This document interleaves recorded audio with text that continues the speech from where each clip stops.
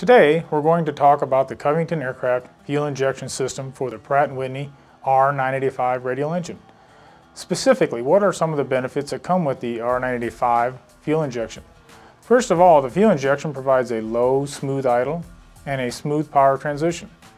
In fact, the fuel injection provides smoother overall operation, which reduces pilot fatigue, something that's important to every one of us.